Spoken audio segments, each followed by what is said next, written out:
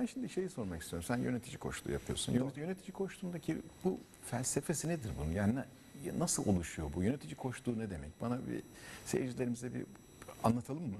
Ne Tabii. dersin? Okey. Şimdi e, aslında yönetici koçluğu, bu arada şöyle bir denklem var. E, biz hayatta devam ediyoruz. Ben de bu arada uzun süre üst düzey yöneticilikte yaptım birçok Evet, firmada. evet. Ve bazen e, ilk yönetici olduğum 27 yaşında yönetici oldum. Fakat 26 yaşında beni yükseltmedikleri için e, firmama resmen lanet okudum. Ve şey dedim yani şu anda yöneticilerin yaptığı işleri bana verseniz ben çok rahat yaparım bu nedir ki dedim kendi Boş kendime. vakitlerinde yaparım falan gibi. Aynen öyle yani yönetici dediğiniz nedir ki işte tepeye koyuyorsunuz altında bir sürü kaynak var kime ne derse onu yapıyor yani bu, bu ne olabilir falan diye düşündüm. İlk 27 yaşında yönetici olduğumda 3 ayrı ekiple görevliyim yani 3 ayrı ekibi koordine ediyorum onların yöneticisiyim. 3 ekip de benden nefret etti. Yani üç ekip de benden nefret etti. Böyle bir geçmişten geliyorum. Ve zaten aslında belki de onların o sırada benden nefret ediyor olması bana mu- muhteşem bir kaynak sağladı. Yani yola çıkışım, hani nerede problem var arayışım belki bugüne gelmemi sağlayan şeylerden bir tanesi.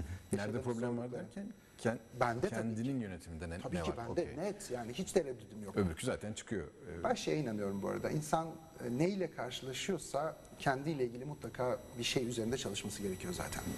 Bizde de böyle yönetici geliyor. Yönetici dediğim daha yukarı çıkmak istiyor olabilir, işini büyütmek istiyor olabilir, personel tarafından sevilmek istiyor olabilir, fırsatları görebilmek istiyor olabilir. Yani istek sayısının haddi hesabı yok. Çünkü insan istemek üzerine kurulu. Kesinlikle.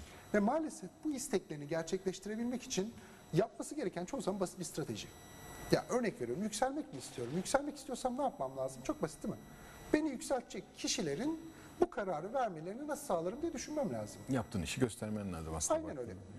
Ba- bu yaptığım iş olmayabilir. Yani Ya, ya da e, özelliklerini, buraya layık olduğunu. Tabii. Kimi için bu işini daha iyi satmaktır. Kimi için gerçekten daha iyi çalışmaktır. Kimi için ciroları artırmaktır. Ama genelde strateji bellidir. Yani bir şirketin neleri yükselttiği bellidir. Kesin. Ve bu kişi de neleri yükselttiğini bilir aslında çoğu zaman. Fakat onu yapamaz. Yani yapamamasının nedeni yapmak istemiyor oluşudur zaten çoğunlukla. Doğru. Çünkü biz yapmak istediğimiz şeyleri yaparız, yapmak istemediğimiz şeyleri yapmayız. Ama asıl mesele şu, benim onu niye yapmak istemediğim. Yani asıl farkındalık sağlamam gereken şeylerden bir tanesi bu. İki ayırda varabiliyorum sonunda. Bir, ya değişim için gerekli olan adımı atmak ya da istediğim sonuçtan vazgeçip durumu kabullenmek gibi farkındalığa ulaşmam gerekiyor. Ve bu uzun süreli konuşmalar sonunda olabiliyor ancak. Bir e, firmada çalışmıştım. Çok basit bir denklem söyleyeyim size. E, firmanın patronu baba, Babanın da bir oğlu var ve oğlu da şirkette yönetici.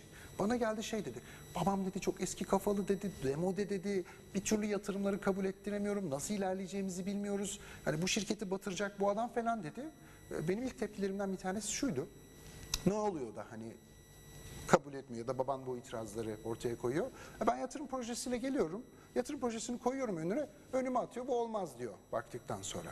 Okey. Buradan babanı ikna edemediğini anlıyorum. Dediğimde bir durdu. E tabi. Aslında Nasıl ana, yani? ana konu o aslında. Bu benimle Doğru. mi ilgili? Hani bu tür farkındalıklar ilerlemesi artık yeniden yeni bir düşünce modeline ihtiyacım var. Babamı nasıl ikna edebilecek biri haline gelebilirim? Çünkü istiyorum o yatırımı. E, Basit bir denklem olarak söyledim. bunu. Doğru aslında orada şöyle bir detay da aklıma geldi. Yani aslında bizlerin, babaların da aslında bir suçu var bu işte. Yani e, çocukları be- belki zamanda mı işin içine almıyoruz ya da zamanda mı sorumluluklar vermiyoruz ve belirli bir yaştan sonra aldığımızda mı anlaşılmıyor. Bu çok çoğu aile şirketlerinde yaşanan problem aslında var ya da bir odası oluyor da tamamen ye- yetkinlik vermiyorsunuz. Bu problem de Sonradan aynı zamanda yaşanıyor. içeriden geliyormuş gibi geldi hafiften. Ee, yok bende yok. Ama daha zaten 15 yaşında olmuşum. Ama bazı kaygılar önceden başlar. 3 yaşındayken çocuğumuzun gelecekteki okulunu düşünürüz. Ya, valla ben, ben doğar doğmaz bende var. Ben benim öyle biraz hi- hiper şeylerim var. Bir de bu arada 15 yaş muhteşem bir yaş.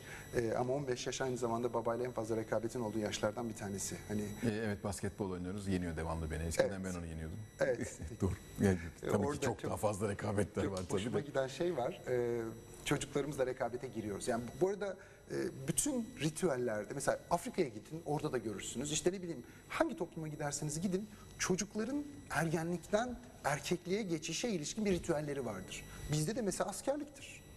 Hani askere gitmemiş adama kız vermezler gibi eski bilinçaltından gelen bir kavram vardır diğer tarafta ama çocuklar ergen yaşlarda yani 15-14 yaşlarında babayla rekabet etmeye başlıyorlar. Ve yani o süreç içerisinde babanın samimi olarak yenilmesi gerekiyor zaten. Doğru. Kesinlikle. O yenilme olmadan e, Özgüven. oğul genelde çok daha fazla hırslanıyor çoğunlukla. Bazen babaların egosu yenilmelerine izin vermiyor. Ve çarpışma çok ciddi bir şekilde devam ediyor. Artık yeniyor beni her şeyde zaten. İyi yenmesi iyi zaten. İyi, güzel değil mi? Daha Ben de- iyi olsun. Ya Ben de rahat edebilirim yani. Evet, Normal bir sonuç yani. Boynuz kulağa geçsin zaten. Geçiyor zaten. Geçti. Boyu da geçti. Her şey geçti zaten. Süper. Şimdi- Yalnız senin de boyunu geçtiyse boyunu tahmin etmek istemedim şimdi. Ee, bir 82 oldu neredeyse 82. 15 yaş daha başında. Ee, peki dediğim gibi yönetici hani bu aile şirketlerinde madem oradan gittik gerçekten e, çocukların dahil edilmesi gereken dönem sence nedir? Ben ben mesela illaki başlangıcından beri ne bileyim bir, bir fabrikaysa koridorunda belki de 7-8 yaşından beri geziyor olması lazım. O, o kokuyu almış olması lazım gibi geliyor mesela ben dışarıdan baktığımda. edilmesini kim istiyor? E, genelde baba istiyor. Yani çocuğun istemesi lazım Burada aslında değil mi? Doğrusu Evet, o. çocuğun istemesi gerekiyor. kesinlikle Yani çocuk öyle. hangi yaştan itibaren istiyor? Yani mesela atıyorum benim oğlum 7 yaşında bugün 4 yaşından beri seninle şirkete geleceğim diyor. Hani ben durduruyorum onu gelme diye. Hani gelme hani işimiz var. Hani iş yaptırmıyorsun bize orada burada yaramazlık soracaksın falan. Aynen öyle. Tabii 15 yaşına geldiğinde 16 yaşına geldiğinde ne olacağı hakkında hiçbir fikrim O yok. zaman Tecrübeli baba olan zaten. sensin. Gelmeyecek o zaman. Gelmeyecek büyük Kesin. olasılıkla. Şimdi ben de reddettiğime üzüleceğim. büyük E, kesin öyle olacak. E, ama o, ya, o kadar senin kadar tecrübeli değilim en azından babalık konusunda. O yüzden net bir şey söyleyemiyorum. Ben de 16 yaşını bilmiyorum ya sorun yok. Ya, evet. Hepimiz birinden daha tecrübesiz Doğru, doğru, kesinlikle. Ama asıl mesele şu. Çocuk ne istiyor? Yani ben burada e, özellikle mesleki açıdan e, ebeveynlerin e, zorlamasına doğru söylemek gerekirse çok şey. E, zorlama demeyeyim ama e, zorlamaya da gerek yok. Ben bir örnek vereceğim. E, benim babam çok e, 1900 yani şimdi tarihi hatırlamıyorum tam olarak ama e, Taksim'de falan olan biri. Yani Taksim'de dolaşan biri. Eski İstanbul'da yaşayan biri. Ve o zamanlar e, şimdi hatırlamıyorum ismini ama Saadettin Tantan diye isim geldi. Evet. Çok e, meşhur bir Fatih Belediye Başkanı. Olabilir o çok. dönemde. Yok belediye başkanı değil şey olduğu zaman emniyet- emniyet, emniyet amiri. müdürü, Ha, evet. emniyet müdürü olduğu zaman derdi ki nasıl bir adamda dolaşırken görmen lazım. İşte sokaklarda tak tak ayak sesleri gelirdi. Şimdi babamın gözünde o çok itibarlı bir meslek. Dolayısıyla beni de abimi de e, polis yapmak istedi örneğin. Hani akademiye göndermek istedi. Abim de koleje gitti. Ben de arkasından koleje gittim ama kolejden kaçtım ben mesela. Hani ama yine de babamı tatmin etmek için bir yolculuğa çıktım bu burada. Fakat devam etmek istemedim. Ee, o yüzden şey hani babaların illa zorlamasına da gerek yok. Bir şeyle gurur duyacaklarını gösterdikleri zaman da çocuklar oraya doğru yöneliyor. O da başka bir baskı.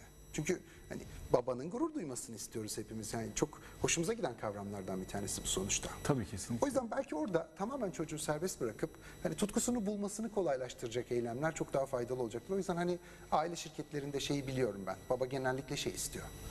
Benim şirketimde çalışsın, benim şirketimi devam ettirsin. Ee, ama bir sonraki nesil... bir de bir şey daha istiyor ama. Benim şartlarımda devam Benim etmesi. şartlarım, benim kurallarımla devam etsin. Aslında sıkıntı oradan kaynaklanıyor herhalde biraz da. Doğru mu?